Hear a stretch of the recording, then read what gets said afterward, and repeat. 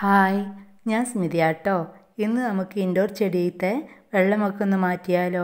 വരൂ. ഈ ഭരണിയിലാണ് ഞാൻ എന്റെ ഇൻഡോർ ചെടി വെച്ചത് കേട്ടോ ഇതിലെ പഴുത്ത ഇലയും ഒക്കെ മാറ്റി ഒന്ന് വൃത്തിയാക്കി വെക്കാം. കണ്ടില്ലേ? വേരൊക്കെ വന്ന് നല്ല ഹെൽത്തിയായി വളർന്നിട്ടുണ്ട്. ഇത് നമുക്കൊന്ന് മാറ്റി വയ്ക്കാം ഇനി ഇതിൽ നമ്മുടെ പച്ച ഇലകളുള്ള അഗ്ലോണിമേന്റെ കൊമ്പാണ് കേട്ടോ ഇതിൽ തളിർപ്പൊക്കെ വരുന്നുണ്ട്. ഇനി നമുക്ക് ഈ ഭരണിയിലെ വെള്ളമൊക്കെ ഒന്ന് മാറ്റി ഭരണി ഒന്ന് ക്ലീൻ ചെയ്തെടുക്കണം. ഇതിൽ കാണുന്ന ഡാമേജായ വേരുകളൊക്കെ നമുക്കൊന്ന് മുറിച്ച് മാറ്റാം കേട്ടോ.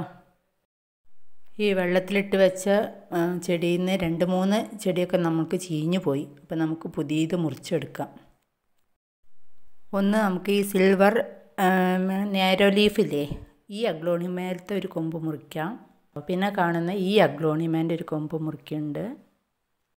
ഈ കാണുന്ന ഈ മൂന്നാൽ ചെടികളാണ് ഞാൻ സ്ഥിരമായിട്ട് ഇൻഡോറിൽ വെക്കാറ്. അത് നന്നായി വളരുകയും ചെയ്യാറുണ്ട്. പിന്നെ ഈ ലിപ്സ്റ്റിക് പ്ലാന്റ് ഈ പച്ചലേന്റെ ഇത് ഇതൊക്കെയാണ് ഞാൻ ഈ ഭരണിയിൽ ഇങ്ങനെ ഇട്ട് വെക്കാറ്.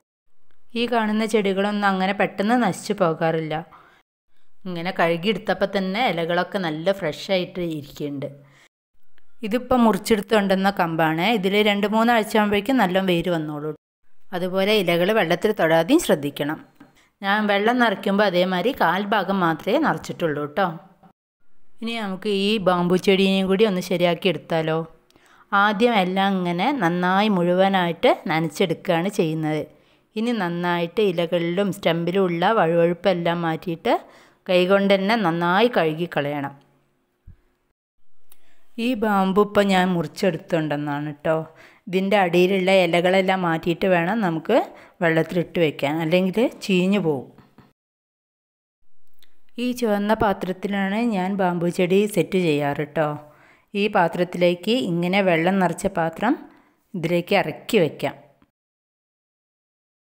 ബാമ്പു ചെടിയിൽ കാണുന്ന ഇങ്ങനെ കറുത്ത് കാണുന്ന ഭാഗങ്ങളെല്ലാം മുറിച്ച് മാറ്റണം. എന്നിട്ട് വേണം വെള്ളത്തിലേക്ക് നമുക്ക് ഇട്ട് വയ്ക്കാൻ ഇനി ഇത് എവിടെയാണ് സെറ്റ് ചെയ്തതെന്നും കൂടി ഒന്ന് കാണാം കേട്ടോ നമുക്ക്. ഈ സ്വിച്ച് ബോർഡ് കാണാതിരിക്കാൻ വേണ്ടിയിട്ട് ഒരു ചിത്രം വെച്ചിട്ടുണ്ട്. പിന്നെ അപ്പുറത്തുള്ള ഹോൾസ് ഒന്നും കാണാത്ത രീതിയിലാണ് ഇത് സെറ്റ് ചെയ്തത്.